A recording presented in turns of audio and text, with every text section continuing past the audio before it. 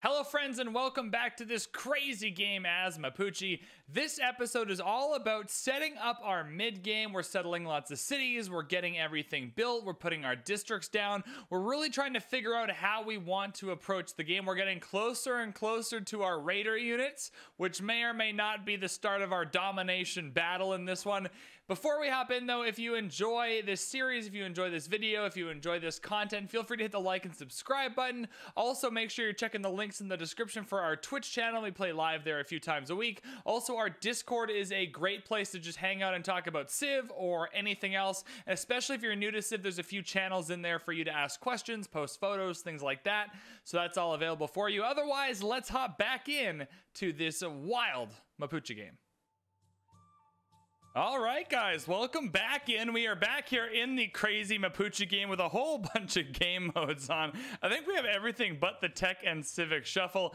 Anyway, things are going really well for us. We have Toa, we have the Oracle, so it's a really good early setup. Lots of great person points. We'll be talking a lot about the Oracle as we go along here. The TOA helps us get these high population numbers, and that's really good because we're going to need those numbers to put down lots of districts in the Oracle City so we can get more great person points, but also because this volcano is going to be taking out a lot of our population here, which is part of the fun and the charm of playing on Apocalypse mode, but still a problem that we need to keep in mind. Uh, one of the only things I think is going wrong for us here is that by the time we actually come and take over England, I think she might be in a dark age, which which negates the uh, effect of our plus 10 combat strength a little bit. I'm not too worried because it looks like we're going to be able to out tech her, which is fine. But I'd also like to start exploring, and I can't because of the Bireme here. I can't build units good enough to kill the, the Bireme. So what we're going to do instead is we're just going to pump out a few settlers, get some more cities settled. We certainly want one more city here to kind of block off England a little bit, maybe even one down here. We definitely need one up here by the iron. We also have cocoa we want to grab. There's more iron here as well. We certainly need this plus four harbor down here. The marble uh, monopoly is going to be helpful, but without this plus four harbor, we're going to be short on era score, and we want to take every opportunity for era score that we can get. We have a few good districts we want to put down, and those districts have things on them that we need to remove. We don't have Magnus, though, so it's totally fine to just chop them out now, so we shall do that indeed. Getting this settler faster, I'd love to get this one start to come down before Beowulf's lifespan ends, just to make sure we have a little bit of a, a coverage here, but we can start chopping these tiles as needed. Yo. Yo. Uh, minus five population in the capital, ladies and gentlemen. Minus five population in the capital. oh no. Woo! We love apocalypse mode. Oh my goodness. Oh my goodness. And the mine's been ruined. And these tiles didn't even improve that much. okay. This is awesome. I, I I do enjoy this very much. As you're going through the game, make sure you're paying attention to your boosts. We are going to mine this resource because we have this iron here. We know that's going to happen, so we can tech out of this. We still want sailing, absolutely. We've already boosted that. Might as well get sailing in the meantime while we know we're going to come and mine this iron here. It just helps really make sure that you're being as efficient as possible in your uh, tech trees. We see a British boat unit here, a galley, so we know that this comes around here, that this continent swings around, which is good for us. Hopefully this galley can help kill the Bireme that's in the area. I'm going to send the settler right here to, to cut this area off, and then we'll get these horses. I also want to be on this floodable river to, to maximize the yields we're getting, because this river keeps flooding and making those tiles better. Yeah, that whole situation was rather unfortunate. Not a bad time for a theater square, though. I'll just take a look at how many cities we're going to need. Maybe we need to pump out one more settler, but we'll take a look at it. I think we're definitely going to want one more settler. I do really want a plus four theater square to go down right away, though.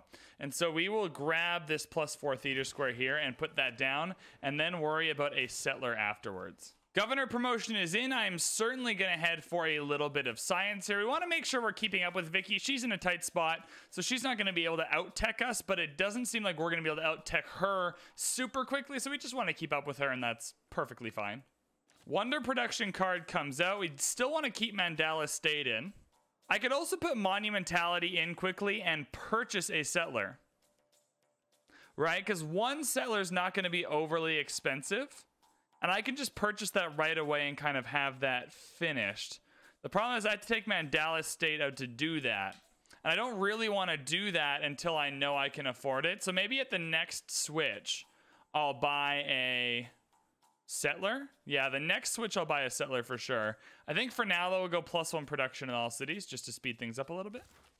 Making sure we're trading our resources. I probably won't show too many of these, but just as your resources come up for trade, as you have duplicates, you want to make sure you're getting the gold per turn you can for them. I found another city here. So sometimes when you settle cities, you can settle them because they have really good tiles, because they have really good districts. I'm going to settle this city right here, not because it's a very good city to settle, but because I can make the most out of the districts. If we're going to put a dam and an aqueduct down, I might as well throw an industrial zone on this end. This is a really good harbor as well, giving us another opportunity for that era score if we don't get it down here quickly enough. Also, this city still grabs the iron and still grabs the cocoa that I'm hoping it will grab. So overall, not a perfect city. I think production and food wise, you're probably better off coming over this way. But in terms of good districts, right? I think I think these two are probably the best we're going to get out of a city here. While we're not fighting barbs, I'm going to double up equestrian orders quickly, just so I can have some iron in reserve, maybe to sell it, maybe not to sell it, but just so it's there in case we do need it. It's just all ready to go. I'm also thinking about putting monumentality, and I don't think we're quite at the point where we're going to be able to buy a settler yet. Um, what we are going to do, though, is go into monumentality uh, after naval tradition and then come back for recorded history because that'll be a quick flip and then we're not losing the eight culture for very long.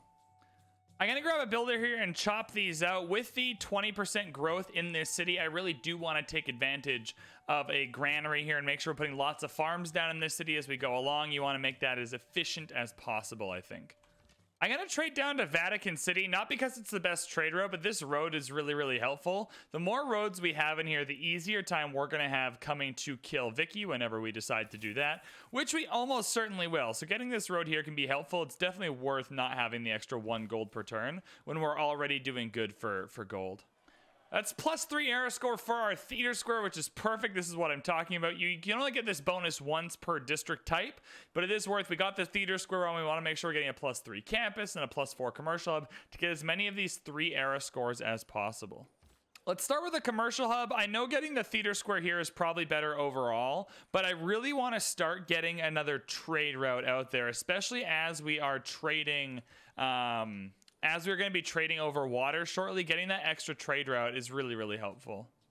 I'm to head down and grab Grants here. Grant synergizes really well with the Oracle to maximize the great person points we're to be getting out of Stogie's dedicated party city. We also need to figure out our other districts in the city. Where do we want to put them? What do we want to do with them? We want maximum districts here.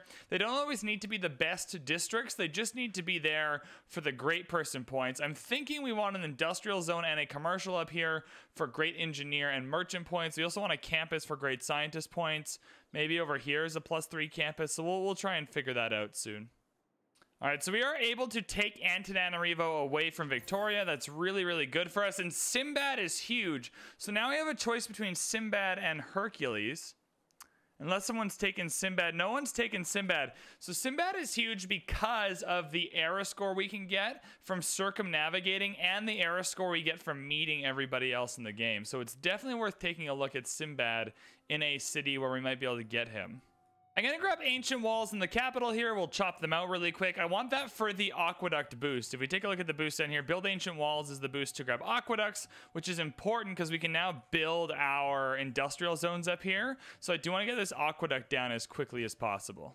We already have our first Great Writer, and we're getting that with six Great Writer points per turn, which feels really good. No one else in the game is really even doing that. So you can see how the Oracle, with just one theater square, no amphitheater, no nothing, is really, really pumping out the, the Great Writer points. Then Pingala's topping them off with his Grants ability. It's just a very functional uh, system.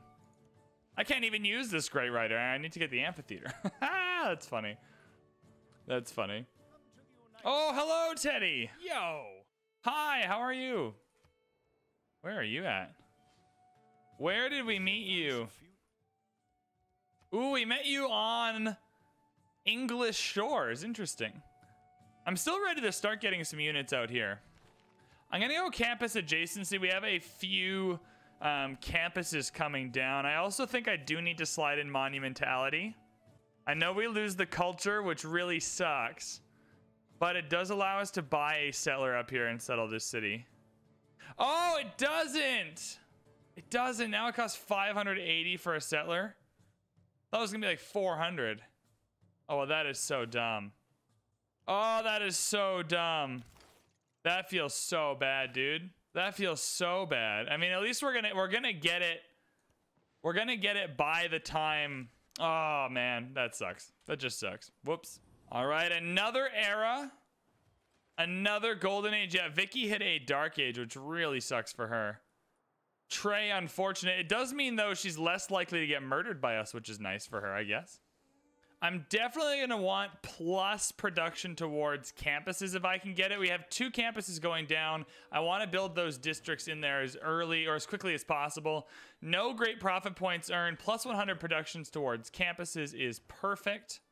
I am going to grab one more settler here. We're going to buy one with faith before this policy swap. And I do want to grab one more here. We know we're going to put the settler here. I know I want to put a settler down here as well on this side. I also might want to grab some settlers up here. We can wait for that though, or build them in cities with the industrial zones maybe. I do need one more settler out of this city. We can get the, the trade route now, so we will buy that. There's no one I particularly want to trade with, but as long as Vicky's stuck on three cities, we're going to be able to stay ahead of her anyways. There's our era score for the plus three campus. That is perfect. We are going to want to take a look at a holy site, probably not in the city with Oracle because I don't need those points. But a two-turn library here is so efficient, which is why we voted for it in the in the World Congress. This volcano doing work though. That time it did not kill anything. Six food, five food, three food, four production. These are all really good tiles for us to have working. So with, I think with the TOA, I think the TOA keeps up with the population we're losing well enough that being able to work all these tiles that are consistently getting better is quite a fun way to play the game. I'm not going to own two galleys. I do want to head towards shipbuilding though. The problem is if I go towards shipbuilding, I still can't send any units out till cartography. So maybe that's not worth it for now. We'll just go for mathematics.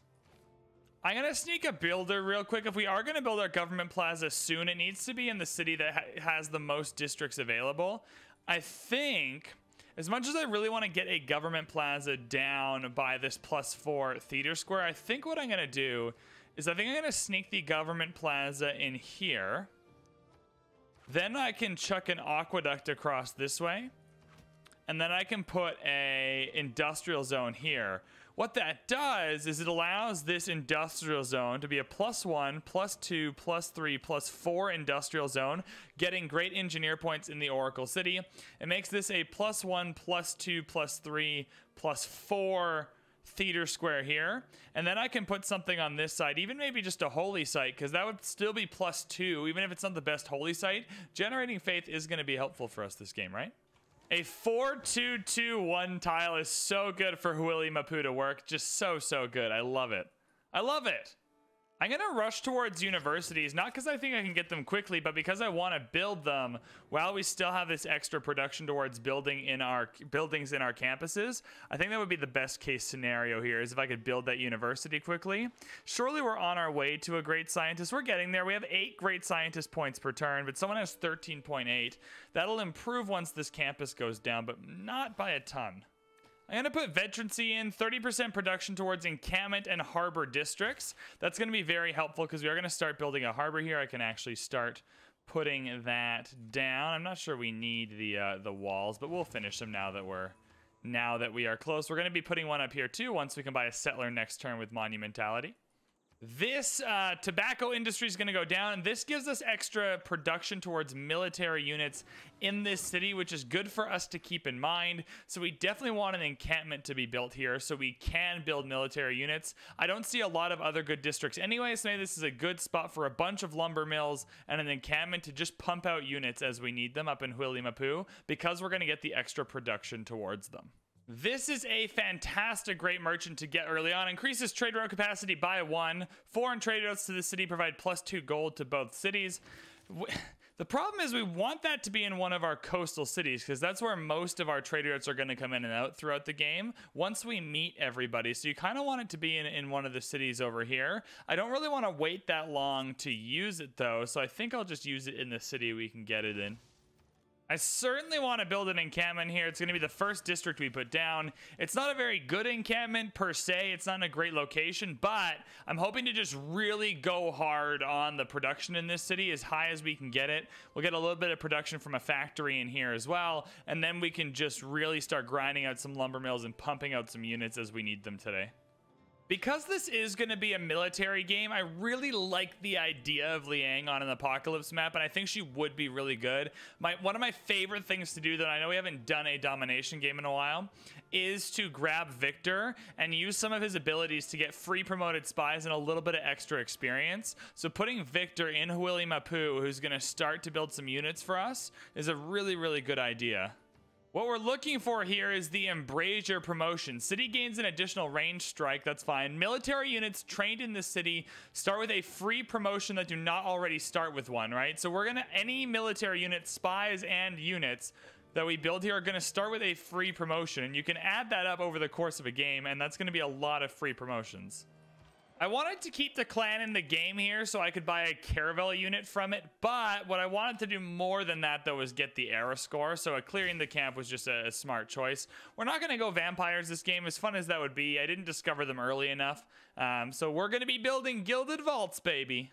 Gilded Vaults. We just got the card to boost the adjacency of theater squares combined with Mandala State going back in. That's going to be a huge boost for us in terms of the culture we are able to get here. Now we're up to 73 culture, 30 more than Teddy, 30 more than Victoria, and those numbers really help put us in front in this game. The fact that we're ahead by turn 104 is very, very, very nice. I'm not going to renew my friendship with Vicky. Uh, I think the death is coming for her sooner rather than later. So I'm just going to make sure whenever we can go and ruin her life a little bit that we can do that. We are going to produce Sinbad here. I think Sinbad's a really good pickup for us just in the game. There's going to be a lot of naval stuff going on. I think Sinbad will be helpful. So we're going to grab a builder here, work the horses, grab the turtles for some amenities, and make sure we're, we're good to go here and, and getting this as quickly as possible taking advantage of these five turn universities just like I had hoped for. We're going to get a lot of science from this. Once the library's done, we'll grab them here. And that's going to be a very good use of our Diplo favor in this government. Oh, an unmet player has been defeated. Yo. Yo. Someone's dead. Oh, God. Okay, we got some competition in this one. We don't know who it is. It's not America, though. It's not America. We don't know who it is. That's fascinating that someone got taken over, though. Maybe Teddy did the taking over. As mentioned earlier, we have made this a plus four theater square just by good districting, getting the government plaza in a good spot with a commercial hub next to it. Uh, overall, this is just a very good theater square to get down, so we shall. I am focused on some of the military stuff. I want to get our Navy rolling. I want to be able to go on open ocean tiles. I want to know what's out there. Sinbad's going to let us know. And from that point, we can decide what we need to do, whether we need to circle back a little bit and come for um, a land military to start. Obviously, we don't need much to take over uh, what's going on here, it doesn't seem like. So we'll be fine. Uh, so I think going for a strong Navy first before we come take over Vicky might be a good idea. We are going to move into Merchant Republic. That's going to give us production towards districts, a little bit of extra gold as well, which is really nice. Always handy dandy to have. And some error score, which, hey, at this point is awesome. Certainly going to put Merchant Confederation in for the gold. How else do I want to approach this here? I think I'll just go for production in all cities for now. It's not the best, but it's it's something. It's it's definitely something. All right, so we've got cartography. Oh, it's cartography is already boosted. Never mind, we're finishing it. Cartography is boosted. We are finishing it. We have a barbing. This is definitely a barbing cabin that became a city state because of the white lines around it. So this barbarian setup, um, it actually makes it nice because now there's less barbs on the water to, to murder us, which is awesome. I have more great writers that I know what to do with, but we can just keep them around. They don't get any worse by having them hang out, so that's totally fine for now. We're about to add a bunch of great engineer points into our pool. Where are we at with those? Instantly builds walls. We are still on the first great engineer. No one's really ratcheting up the points. Once we get this industrial zone down, though, we will start to do that. Another two population knocked off in Stogie's dedicated party city. Man, we're having such a good time over here. This volcano is so fun. Hello, friend. So, uh, plundering barbarian boats with Sinbad is going to give us 500 gold, right? So that 500 gold is now going to allow us to buy builders. And those builders can put farms on all these tiles to make sure we're getting nice high population cities here, which is very, very helpful. There's also a bunch of mines we can put down here. There's still lots we can do with our land. So I will be buying lots of builders to make to make that work. And I'll do it after we put the builder card in. So all the builders we are building get, I'll actually swap this one out here. Uh, we'll make sure they get two extra build charges so we can really start getting some farm triangles down and, start working our land a little better. Now it's time to circle back for the military stuff we're going to want to use to get rid of Victoria here. So lumber mills, crossbows, niter. I actually reveal niter first just so I know where it is. Then we'll come down for crossbows and, and make that work. We are at Embrasure now, which is perfect for us being at Embrasure. Will give us the ability to build units here with free promotions, which is awesome. In our card slot, we're going to take out production in all cities, and we are going to put in the one that gives your builders, where is it, an extra two charges because we're about to buy a boatload of builders. Also, we're going to come up here and we are going to finish that builder that we were building before. It should still be only one turn away. Perfect. We'll finish that up first now that we have that card, and then we are good to go. We have minus 50% production awards units from the World Congress now, combined, get out of here, builder, combined with the 30% uh, here. So now we're going to be able to make a lot of units really quickly. I'm going to grab some archers really fast because I know we can boost crossbows if we get just a few more archers. So we'll start with that. And those archers will get a free promotion. So they start with garrison, which is just awesome. Hello, Khmer. Oh, you're a killable person. And Saladin. So those are the last two in the game. I wonder who it was. Oh, Saladin has 162 science. So Saladin's the one that did the killing earlier. I'm just wondering who it was that he killed. Now, this early on, we know we're going to come for these guys here later. So I am going to go and I'm going to grab a friendship and an alliance with Teddy. Now, where is Teddy at? Teddy's got 90 science, so that's helpful. I definitely want a research alliance with Saladin if I can get it. Maybe a cultural alliance with Teddy will be helpful for us. Mostly, I just want the era score. Well, it didn't give me era score. It gave me the boost, though. Either way, I thought it did give era score. Either way, um, I'll, I'll grab that boost. I'll also try and be uh, friends with Saladin. Delegation? Okay, we'll figure we'll figure it out. I'm gonna grab open borders with both these lads. 10 gold is fine. Just so I can send my scout through their land and, and see what's going on and, and see what they're up to. I want to be able to search for the wonders they're building so we can send our scout up through Saladin's land and, and see what's going on. And try and find a way to sneak this plus three holy site in before the era ends in seven turns. That'll be another three era score. We're gonna get five from circumnavigating with Sinbad, so that's eight. So I'm just trying to find the last two era score. We're probably getting one from this great scientist here and one from this great merchant. So I think we will hit the 120 we need without too many issues. Saladin surely has loads of gold. Do you want this? Yeah, you do. Thanks, bud. Appreciate that, man. I thought we were going to circumnavigate. I don't think we are. Hopefully I can circumnavigate with the scout then. We're not too far off. But I don't think we're going to get it now. I thought Sinbad would make it through. Oh, no. This is an issue. We've got a caravel now. I don't know how far a caravel can go in six turns. I don't think five turns. I don't think it's enough to circumnavigate. We are so close, though, man. We are so close. Oh, I don't think we're going to get it, though. I just don't think we're going to get it, and that feels so bad. We're going to grab an armory here. We need the armory to build military engineers, which will help build this dam quickly, so we shall do that. Yeah, I mean, I can chop out this holy site for three, and that's a start. We could yet cheese a Stonehenge. Now, a Stonehenge will give us a great prophet, which I do not want. But a religion does open up. A religion does open up a lot of opportunities for us, not only to try and win the game, right? Maybe going for a religious when it opens that up. I'm going to try and just kill people, but it opens up a lot of era score opportunities. I mean, that's tough. It also opens up a really good theater square here, too, and a really good entertainment complex. You could put the entertainment complex in Stogies right here next to, yeah, let's go for the cheesy Stonehenge. That'll be era score.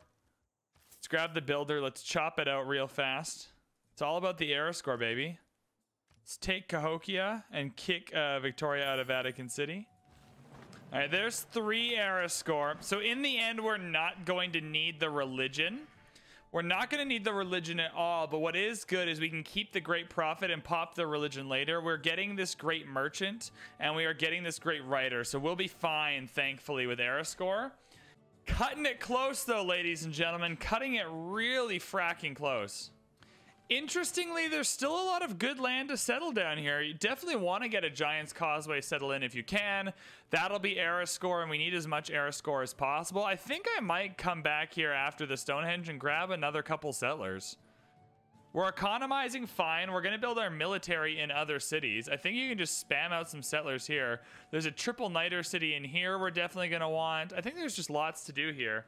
Uh, we are going to kill uh, England soon, but we don't need to rush it, right?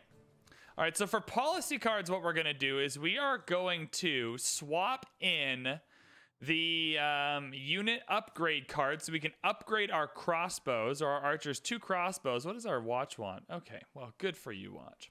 We're definitely going to do that. Absolutely. We're going to keep our faith rolling here. We want to make sure we can get our heroes back because that's era score. We don't need serfdom in this second. I don't think. So let's try and figure out. I think production award settlers goes in. You actually do wonders to get the Stonehenge quicker and then production award settlers. Yeah, that helps get the Stonehenge a lot quicker. So let's do that. There we go. Two turns on the Stonehenge. So we've already hit the era score requirement. We're good. Era score rolls over in this game mode, so we don't need to worry about going over. Totally fine. I think that's perfect. I think for military stuff, man, getting the Malon Raiders is very, very good. I think once we get the Malon Raiders, which we are going to get boosted with an armory, I think at that point we just kind of... I just think at that point we kind of go hard with the Raiders and, and kill England. All right, we did it! Woo! I'm stressing. This game is making me think so hard. This game is making me think so freaking hard, man. All right, we got the Stonehenge. That's perfect. Stonehenge down. Good stuff. Then we can party. I can't remember the last time I built the Stonehenge, but we got it. It's good. The Stonehenge is in. Vicky is in a golden age, so we can still kill her this era, which we are going to do with our Malon Raiders, which is awesome. Um, so plan of attack next is definitely to come and kill uh, Vicky. We have the Great Prophet. We are just going to have our Great Prophet sleep. We'll pop the religion when we have the faith to support it. We The last thing we want to do is pop our religion and then have Saladin or someone else come and ruin our day. We'll also keep a track of the religious victory. If anyone's winning that, then we'll start to worry a little bit and pop our religion. Let's fix up the outer defenses. I can buy some of these buildings here. What's really uh, good is if I can just spam out some more settlers. We have this Giant's Causeway settle we're going to want for era score. It looks like we're going to have a settle a settle or two up here that look really, really juicy that I want to take away from the AI. So I think we'll, we'll prioritize those things. I also think this is a great spot to leave off the video. Next era, definitely going to be all about going to war with Vicky and kind of taking over Sheffield, London, and Liverpool. Hopefully, maybe the Khmer will help us. I'm not really sure on that. What are they up to? Oh, there's all kinds of. Oh, Vicky did try and settle over here, and the Khmer took her over. That's unfortunate for her. Um, but I think that'll be the plan of attack for the next episode. This episode all about just stressing about Erascore, man. Um, but we are economizing really well. The Oracle is, is paying off in, in spades right now. We're getting a lot of great people. We're getting a lot of great people points. All of that feels really good. So we are we are economizing. We're setting up a good base here. We're at a good science and culture level, although Saladin's really far ahead, and we're going to have to catch up. Otherwise, I really hope you guys enjoyed this video. If you did, like and subscribe button are around. Uh, let me know what you thought in the comments. Find us on Twitch or Discord or wherever you want to hang out with us. All the links are in the description. Thank you so much for watching, and we will see you in the next one.